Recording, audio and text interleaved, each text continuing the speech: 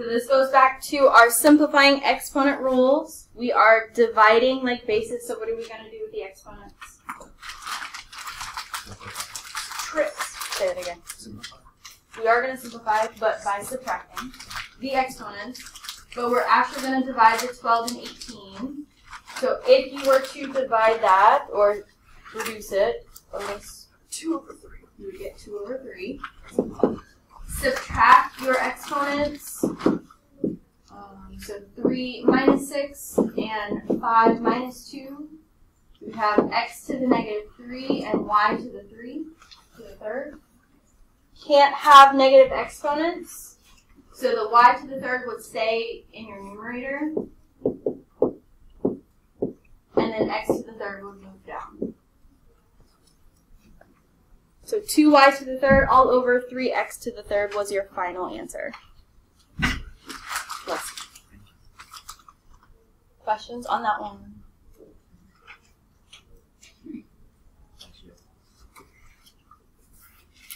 Right, and then number four on the back. This was um, going back to polynomial operations. We are multiplying everything, so whether you are distributing like this, using the box method, either or. That's not number That's not four. the wrong one. You're right. It is. Um, what does your number four say? The word problem.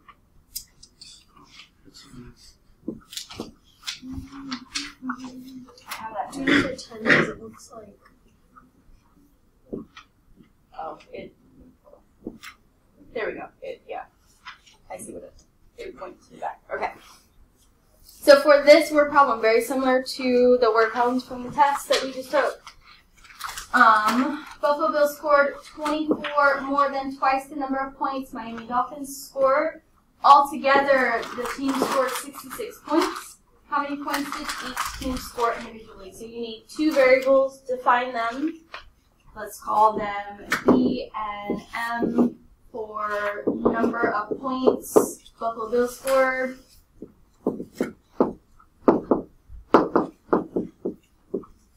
and number of points minus the office word.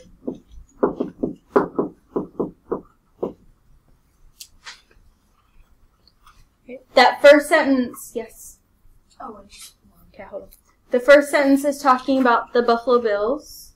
So that's going to be B equals. Oh, Otis, if you were going to say that, you go ahead. 2m plus 24 equals 66. Or just 2 plus 24. 24 plus 2m or 2m plus 24, either or. So that would be your equation for B. Altogether, if I added B and M, I would get 66. So I'm going to take this equation and put it in for B. So 24 plus 2m plus m equals 66. And then solve. So 24 plus 3m equals 66. Get rid of your 24 by subtracting. And then divide. What was that, 14?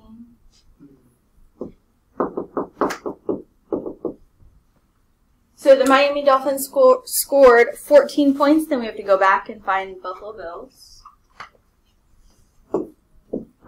By putting this number back into this equation.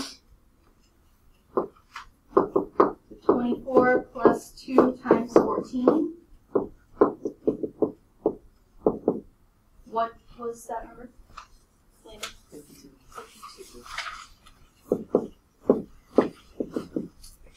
When we did the word problems, there was one like this, so I don't know if I changed the numbers at all or if I just copied and pasted. So if you had those notes, you could have went back, bless you, and just saw how we did that before. Questions on that one?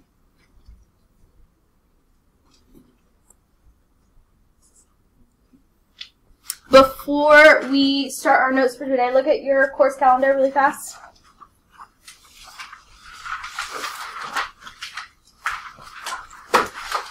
Um, important things to notice. You don't have any Khan Academy quizzes due today. You'll have some due next week, and you'll have some due the last week of school. I'll send out a reminder. Make sure you get those done. Um, I probably won't send out progress reports until closer to when we get back. But then also notice, um, last day of school is a flex day. If you're not here that day, um, you'll need to come before or after school when we get back to work on retakes, retake work, finishing tests, anything like that. When we come back, so um, usually we come back like the second, but the second is a day off still. So we come back on a Tuesday, which is why the schedule is pushed. But we are still going to have our quiz and our tests. Um, it'll still be collaborative, the quiz and things like that. Um, there's something else. If you haven't finished the test we just took, starting next week, come see me in the morning, come see me after school, Tuesday through Thursday. Come get that done as soon as possible because we won't have time. We may have some time in class where you can do that, but we may not. So if we have time, then yes, you can use that time after you practice a little bit. Um, if we don't have time, you have to come before after. Yeah. No, because I. I haven't graded them all. Any other questions on course calendar, this unit, anything like that? Okay. So this unit is different than last unit because we're not really like solving.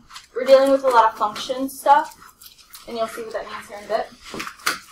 So everyone should have notes that look like this. This may be familiar to you, it may not be.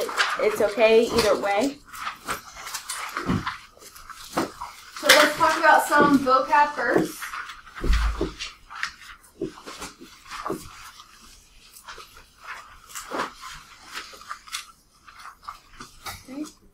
This first blank is an ordered pair is a set of numbers or coordinates written in the form xy. A set of ordered pairs is called a relation.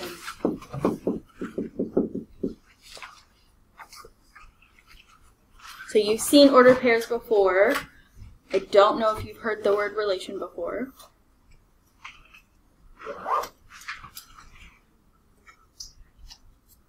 Then we're given this table. Time spent studying for a test versus the score on the test. This is not you guys' test scores, just random data. If I asked you, how would you describe the numbers on the left side? What words come to mind? Otis. Okay. Usually they're specific for a specific set of data. Regina. Um, no repeats and multiples of five. Okay. Those are both true. Yes. What if I said, what are these called, Sophia? The right would be our, not, the left would be our x value side and the right would be our y values. Okay. So x values, y values. What are some other ways to describe x values? Ivan? range and You're thinking domain and range. We'll get to that. So yes, keep that in mind. There are other words though. Jasmine? Independent, dependent. Your x values are the independent.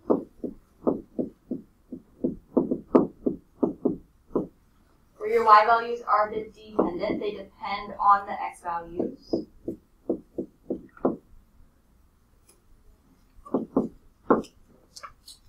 Um, there was one more. Um, kind of tying along with independent, dependent. You could also think about if you had these values and an equation, this would be your input. And then what would be your output?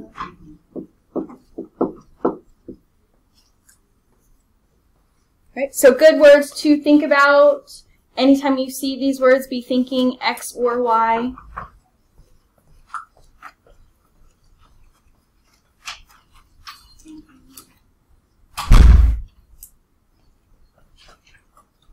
Right, so then going back to what Ivan said earlier, the first set of numbers in an ordered pair or all of the x's refers to the domain.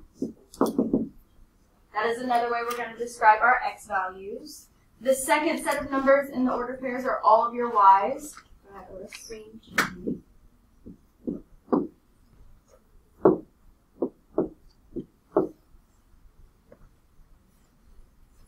And then we are going to use something called a mapping. That illustrates how each element in the domain is paired with an element in the range.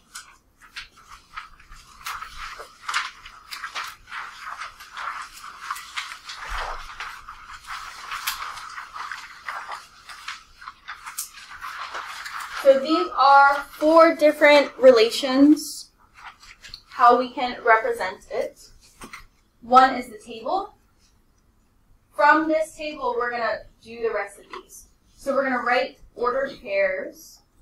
Start off with curly brackets because it's going to be the set of all of these. And then write each of your ordered pairs as xy in parentheses. So 0, 3, 5, 1, 3, negative 6, uh, negative 7, negative 3, and negative 4, 5. And end it with curly brackets. So this is the set of all of your ordered pairs.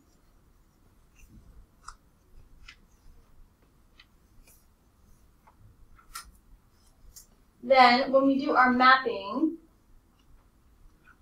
we list out just the domain and just the range in our curly brackets. Least to greatest.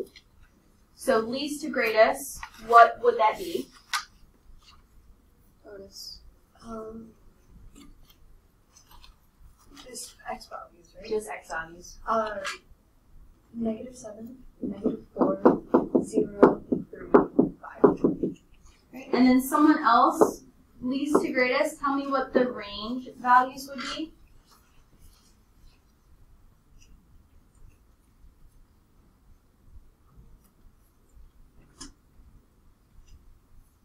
Jasmine? Negative six. Negative three. One. Three and five.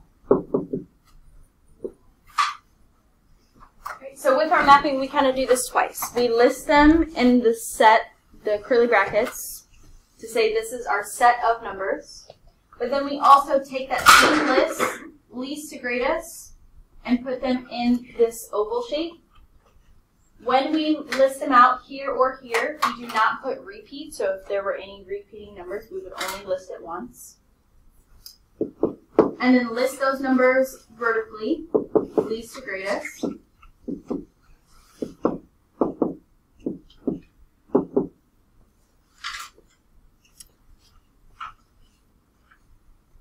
The actual mapping part of this is drawing arrows to whatever they were. So you can use the table or your order pairs to do this. Zero three was one of them, so you would start at the zero on your x and map it with the three on your y. Five one was one of them. So find the five on your x and the one on your y and map them together, and then so on and so forth. So three, negative six.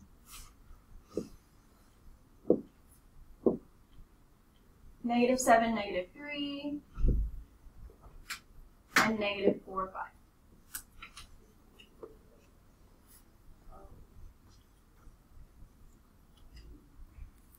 So you actually have to map the numbers to each other.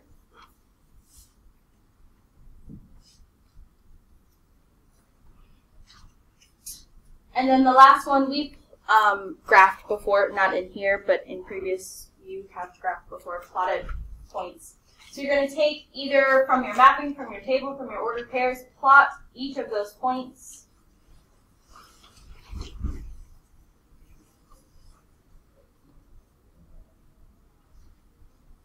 If you want to label them, you can. I'm just labeling them so you know which one's which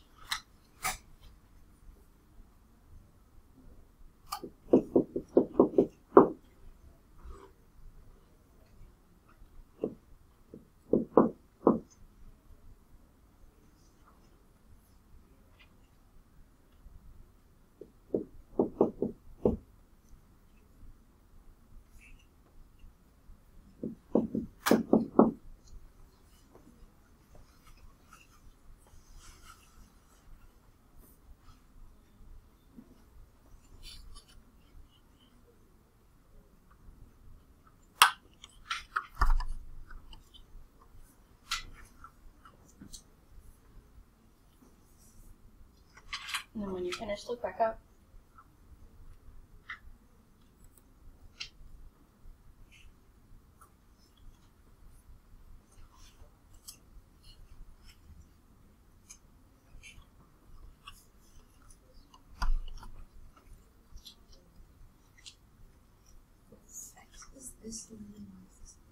So when you're plotting them, um, always do your x, then your y.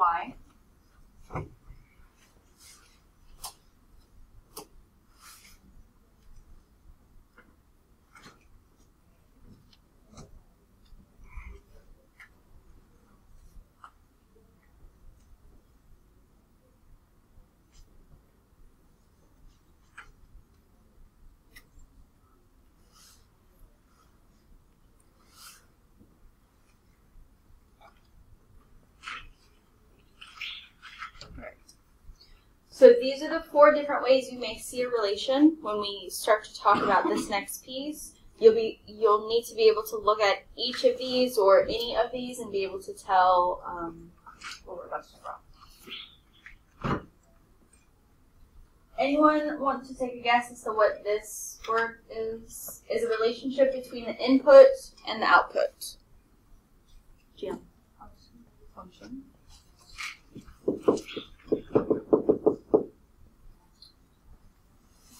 Right? And remember that these words are interchangeable. The input, the y, the x value, sorry, the domain, the independent variable. That's what I meant to put. Variable, not value, but same difference. And then the output, the range, the y values, the dependent variable. In a function, there is exactly one output for each input. That means our x's cannot have more than one y value. So we look back at our relations, each x value has its own y value, and then we just showed that multiple times. If this was like a zero instead, now this same input has two different outputs, and it would no longer be a function. On the next page, we're going to do a couple of these examples together, and then you'll practice one. Off to the side here, draw a table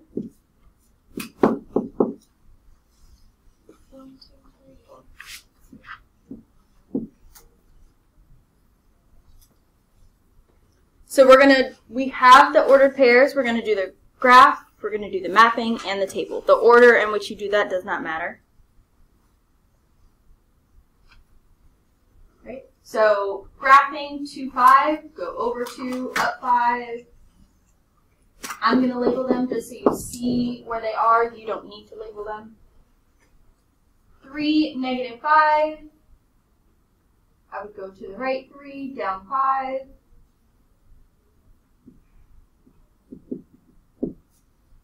four, five, I'd go to the right four and up five. And then five, negative five, go right five and down five.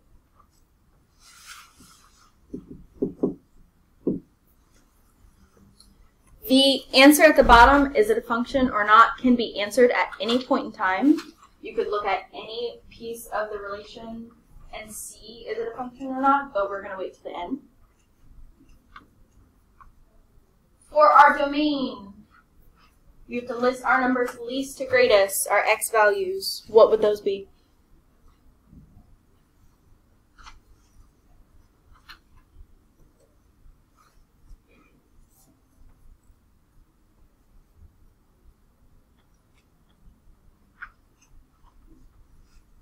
Sheila?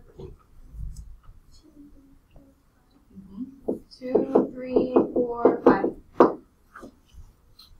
If you want to go ahead and put that in your oval, you can do that as well. For our range, what would we put there least to greatest? Regina? Negative five, negative five, five, five. Except we would not put the repeats because we're already saying that negative 5 is a part of the set, so we don't need to put it twice. So we would just say negative 5, 5. So we'd only have two numbers in our y oval instead of 4. So when we do our mapping, we have 2 to 5, 3 to negative 5, 4 to 5, and 5 to negative 5. Now, x can only have one y value, but a y value can have multiple x's. So here, we see multiple x's going to the same y value. This is okay. But if we saw multiple arrows at the same x value, that would not be okay. Right? And then our table, our x's have to be least to greatest, our y's just have to match whatever it says. So 2, 3, 4, 5, and then whatever it says. So 5, negative 5, 5, negative 5.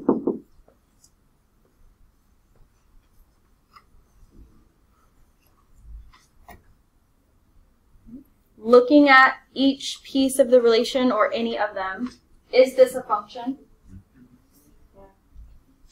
Each x value has its own y value. None of them repeat. So yes, this is a function. Otis. Wait, what? Because they all use the same one. They each of the x's use different y values. That's okay. If I had two of the same arrows coming to three, that would not be okay. Oh. That's going to be the biggest thing you might mix up here, so try to keep those separate. Any other questions on that one?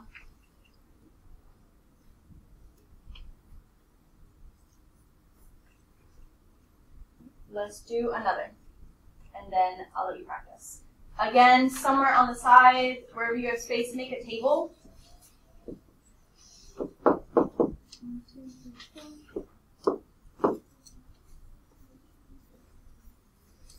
Does not matter your order, but start to do your all of your different relations. Five zero would be on the x-axis. Zero five would be on your y-axis. Five one would be right above that, and one five would be out.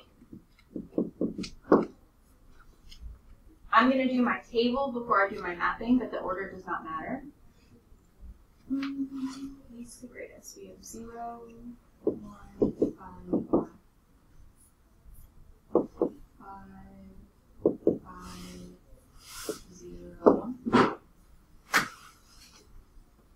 How would we write our domain in curly brackets? Least to greatest. Gila. 0.015, no repeats. And then our range, 0.015 again. Sometimes that happens, sometimes it doesn't.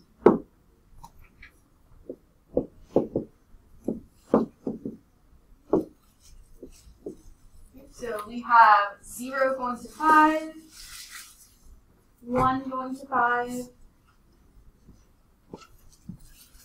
five going to zero, and five going to one.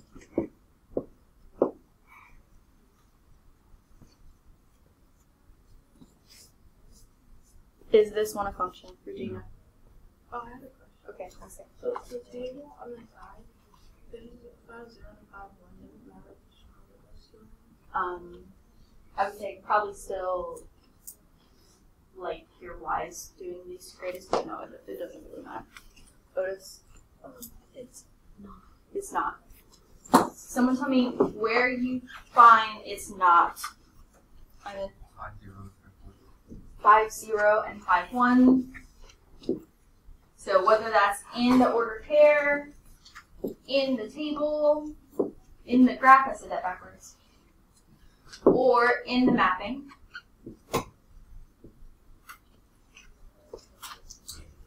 anywhere you see it, you should be able to see that 5 repeats itself and has two different y values. Now, if you had something where it repeated the same y value, or same, yeah, same y value,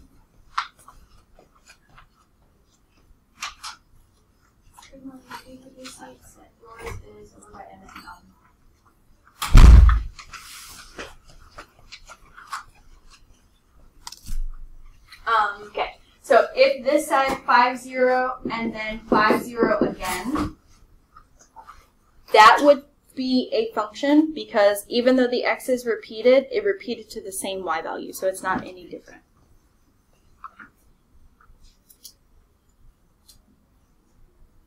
Questions about that one?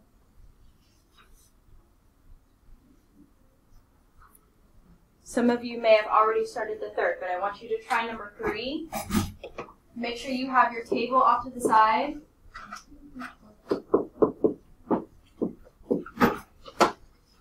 Do your graph, your table, your mapping, and then figure out is this a function or not. And then when you finish, um, remember that your table, the x's need to be least to greatest. And then your y's just need to match them.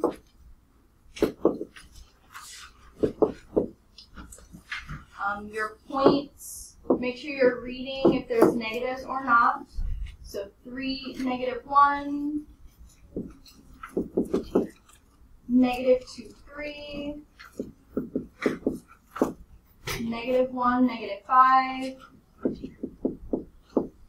and 3, 2. Make sure you're listing out your domain and range in curly brackets with no repeats.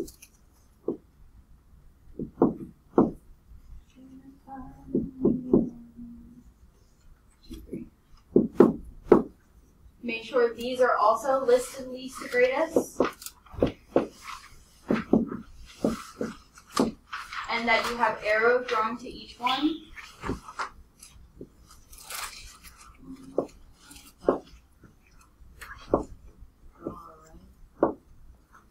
And then, was this a function or not? No. Someone tell me why. Because of the threes. The three negative one and the three two.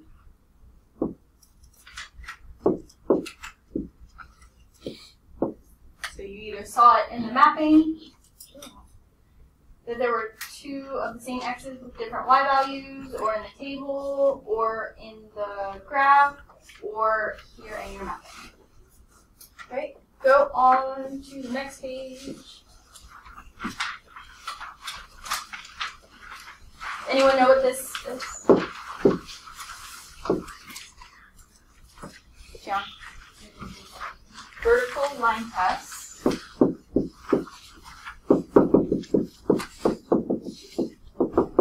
So this is another way to see is this a function or not, especially on a graph. Um, a graph fails the vertical line test if there's any place where you can draw a vertical line and it passes through more than one point. So if I were to draw in vertical lines here,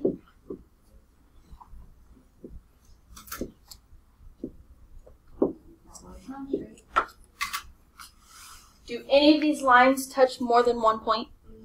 No. So that would be a function. If I do the same thing for this next one,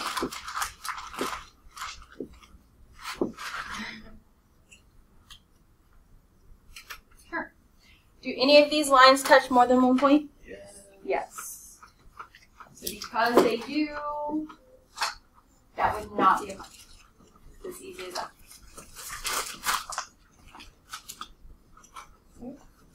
For this one, if I drew a vertical line anywhere, would this be a function? No. It's going to touch at more than one place everywhere except right here. This is just one. What about this last one? That is a function. No matter where you draw your line, it looks like it's going to cross more than once, but it doesn't. So that is a function. Do we have any questions on how the vertical line test works?